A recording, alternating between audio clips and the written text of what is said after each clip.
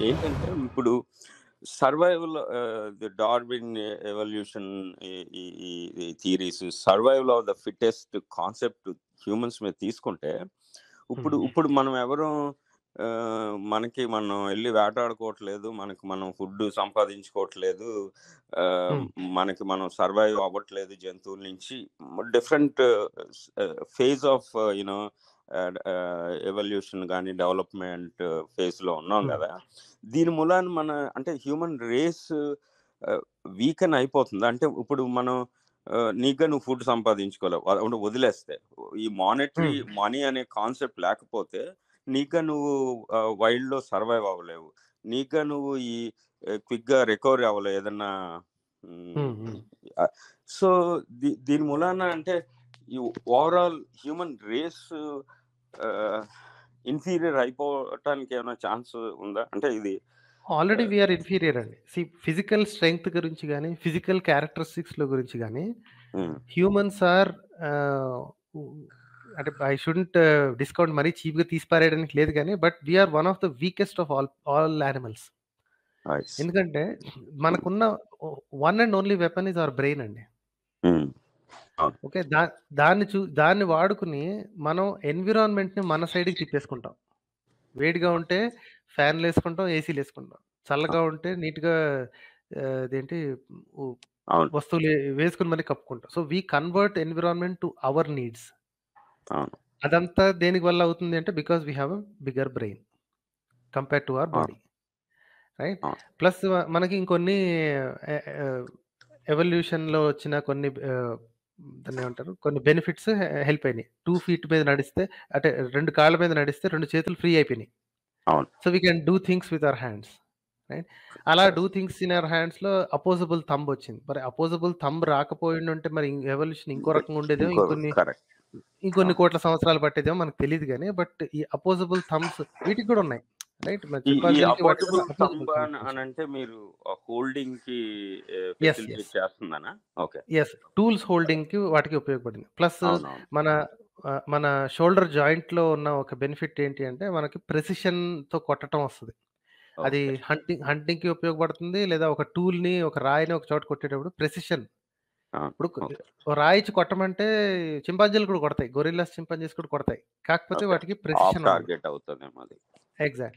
So, ఒకదానికొకటి, ఒకదానికొకటి ఇలా మెల్లిమెల్లిగా చిన్న చిన్నవి యాడ్ చేసుకుంటూ we have become and now మన మజిల్స్ అంత స్ట్రాంగ్‌గా ఉండాల్సిన పని లేదు. Because we have tools. అవును. ఫాస్ట్‌గా పరిగెత్తాల్సిన అవసరం లేదు. Because we have better protection mechanisms. Hmm. Right? Plus మనది యూనిటీ ఇన్ నంబర్స్ ఉంది. సో, మనం వీక్‌గా ఉన్నా సరే పెద్ద పెద్ద మ్యామత్, ఎ ఎలిఫెంట్ లాంటి పెద్ద పెద్ద జంతువుల్ని వాటిని చంపేయొచ్చు. అవును. ప్లస్ మనకి లాంగ్వేజ్ ఉంది కాబట్టి మనకి ఈ దూర దూరంగా కమ్యూనికేషన్ చేసి అలర్ట్ అవ్వడం, అప్రమత్తం అవ్వటం, వేటని సంపాదించుకోవడం వీటన్నిటికి ఉంది. So, these are the plus points we have. ఇవి పెరగటం వల్ల ఆహ్, మనకి మ ఓవరాల్ ఇండివిడ్యువల్ పర్సన్ వీక్‌గా కనిపిస్తాడు. కరెక్టే. Hmm. That is yuck that assessment is correct. Individual human is technically ah, very weak in the wild. Hmm. Okay. Unless మన కొంతమంది 'బేర్ గ్రిల్స్' లాంటోళ్ళు బ వైల్డ్‌లో బతకటం అవును. అలవాటైనోళ్ళు తప్ప మామూలుగా ఇప్పుడు మన సిటీస్ నుంచి కొంతమందిని తీసుకెళ్ళి ఇందులో వైల్డ్‌లో వదిలేసామనుకోండి. 100 అవునవును. మందిలో 10 మంది కూడా బతకరు. అవునవునవును. అవును. Right? After couple of months or అయితే something we people are will strong in controlled environment that we created our self? Exactly. ఇప్పుడు ఆ 100 మందిని కూడా మీరు ఆ 100 మందిని కూడా కలిపి వదిలారనుకోండి. హ they will become a society there and they will అవును. Start organizing themselves. They will start protecting themselves అలాగనమాట. రైట్. రైట్. రైట్. ఇండివిడ్యువల్ యానిమల్‌గా చూసుకుంటే yeah! We we are one of the weakest of all species. Okay. At least mammals అన్నమాట. మనం okay. పరిగెత్తలేం ఫాస్ట్‌గా. Yeah! And ఈ ఈ science and technology లేదా మన ఇంటెలిజెన్స్‌తోనే మనం ప్రస్తుతానికి బతుకుతున్నాం. ఇప్పుడు ఈ హ్యూమన్స్ కనుక లేకపోతే ఇప్పుడు మనకి డయాబెటిస్ ఈ ర రకరకాల క్యాన్సర్స్ ఇవన్నీ మిగతా. జంతువుల్లో ఎందుకు కనిపించట్లేదు? మనుషుల్లోనే ఎందుకు కనిపిస్తున్నాయి? హ్మ్. రైట్?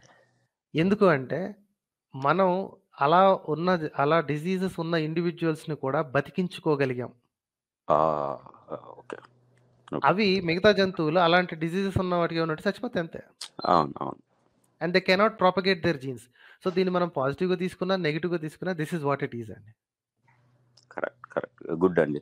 తర్వాత ఆ లింక్ పెడతారా? ఐ జస్ట్ వాంటెడ్ టు అసలు వీళ్ళు ఎలా చేస్తారు ఏంటి? ఎందుకంటే నాకు తెలిసి జ్యోతిషం అంటే సంథింగ్ లైక్ మన చిన్నప్పుడు ఒక ఎక్కాల పుస్తకం అని ఉండేది తెలుసు కదా? Two tables. అంటే సంథింగ్ లైక్ అలాగే ఉండాలి. అంటే ఈ ఎవరు చెప్పినా సరే ఒకడు బెటర్ జ్యోతిష్కుడు ఎలా అవుతాడు ఒకడు వెరీ రెప్యూటెడ్ థింగ్ ఎలా అవుతుంది అసలు నాకు ఆ కాన్సెప్ట్ అర్థం కావట్లేదు. అంటే ఇవన్నీ బోగస్ అని తెలుసు బట్ బేసిస్ మీద ఎలాగ ఒకడు బెటర్ ఈజ్ బాగా పేరున్న జ్యోతిష్కుడు ఇతను చెప్పింది అవుతుంది. అసలు అలా అది ఎలా ఉంటుంది? అందరు చెప్పేది సేమ్ ఉండాలి కదా. అదే అదే. Because that is based on chance అండి. ప్రతి ఒక్కడు కాయిన్స్ ఎగరేస్తున్నాడు. కొంతమంది కాయిన్స్ పడుతున్నాయి కొంతమంది కాయిన్స్ బొరుసులు పడుతున్నాయి. అంతే తేడా. ఉమ్, లేదంటే మార్కెటింగ్ స్కిల్ కూడా కొంతమంది చెప్తుంటారు కదా.